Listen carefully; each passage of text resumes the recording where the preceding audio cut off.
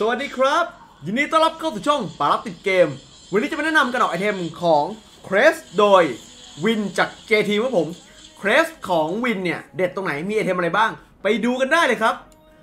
ในซีซั่น8ครับ c r e s เองได้โชว์ผลงานหลายเกมมาก และตัวของ Cresht เนี่ย มีคนเล่นหลายสายมีคนเล่นสายโจมตีก็มี แต่ Cresht ของ Wind จาก JT เนี่ย เน้นความถึกเป็นที่สุดครับที่แรกออกมาเป็น Sonic Boot เพราะว่าเขาไม่ต้องการเดินหนีครับ ไม่ต้องการ เรียกว่ากันสถานะไม่ต้องขอถึกไว้ก่อน ยืนชนให้เพื่อนได้ครับผม Sonic Boot เนี่ยได้เปรียบตรงที่ว่ายิ่งเกมนานครับศัตรูใช้ skill หมดแล้วต้องมาตีปกติใส่ Cresht เนี่ยมันจะทน damage ได้ดีเนื่องจากว่า Sonic Boot เนี่ยบอกว่า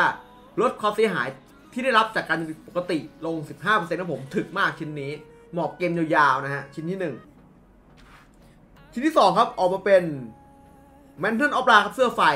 เพื่อกันเอาชนะ lane Cresht ตัวนี้ไม่ได้ได้ลมมิ่งนะครับ ยืนเลนยาวๆ ทนแข็งไว้เลยครับผม เวลาที่โดน damage แล้วก็ยืนรับ damage ไว้ แล้วให้เสื้อไฟทำ damage รอบๆตัวไปเรื่อยๆนะครับ ไม่ต้องตีเองครับผม ให้เสื้อไฟเผาไปเรื่อยๆ เพราะว่าเรายืนได้นานอยู่แล้ว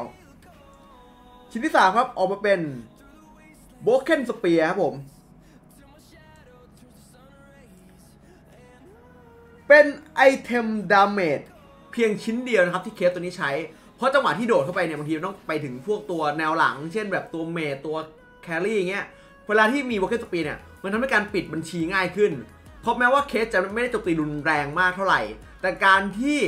พวกตัว carry ตัวตัว mage เลือดมันน้อยเนี่ยโดน Cresht ที่ติด Broken Spear ฟาดไปครับก็มีโอกาสถึงตายได้เหมือนกันนะครับ เป็นชิ้นที่ 3 ของ Broken Spearชิ้นที่ 4 ครับ มาความถึกเลยครับ เป็น Medallion of Troy ครับผม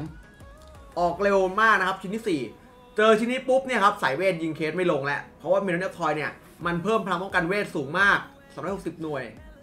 และเพิ่มพลังชีวิตอีกพันหนึ่ง cooldown ลดลงทำให้ Cresht แปลงร่างได้ถี่ขึ้น ที่สำคัญคือ ไอ้เกราะ barrier ของมันเนี่ยครับเมื่อรวมกับ Cresht ตอนแปลงร่างเนี่ยถึกชิบเป๋งเลยครับ ดังนั้นชิ้นที่4ปุ๊บเนี่ยCresht จะเป็นเรียกว่าโล่เนื้อครับยืนขวางได้ตลอดเวลา ชิ้นนี้ครับออกมาเป็น Frost Cape ได้เรื่องอะไรบ้าง เกราะเพิ่มพลังชีวิตเพิ่ม และเมื่อใช้ skill ครับโจมตีปุ๊บติด slow move ผลคือ Cresht เนี่ยยืนเฉยก็ติดไฟไหม้จาก Mantle of Ra แล้วแล้วเมื่อกระโดดเข้าไปปุ๊บโจมตีหนึ่งทีติด slow move ครับป่วนเกมได้อีกรวมถึงถึกขึ้นด้วยนะครับ เป็นชิ้นที่ 5 Frost Capeสุดท้ายครับ Blade of Eternity หรือเกราะเกิด เอาไว้เพื่อให้เวลาที่ Cresht โดดเข้าไปแล้วตาย มีคืนชีพขึ้นมาหนึ่งครั้ง จะได้ป่วนศัตรูได้อีกรอบนะครับ เพราะ Cresht เนี่ยมันเลือดเยอะถึก แล้วถ้าเกิดว่าตายตอนที่เมตา m อร์ฟอสิตเนี่ยใช้ไปแล้วเนี่ยครับ มันก็เลือดเยอะอยู่ดีครับ คือมันยืนรับ damage ได้เยอะมาก จนสุดท้ายกว่ามันจะตายเนี่ย แล้วคืนชีพขึ้นมาเนี่ยครับ มันก็ทำ damage ได้เรื่อยๆอยู่ดีครับผม ดังนั้นเป็นที่ชิ้นที่ 6 นะครับ กับ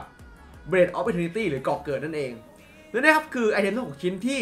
Wind ออกในการแข่ง AIC 2018 ใครได้ของนักแข่งคนไหนลอง request มา ถ้าป๋าเจอเดี๋ยวป๋าทำให้นะครับ ใครอยากติดตามป๋ารักติดตามที่เพจด้านล่างนี่เลยครับป๋ารักติดเกม แล้วเจอกันใหม่คลิปหน้า คลิปนี้สวัสดีครับผม บ๊ายบาย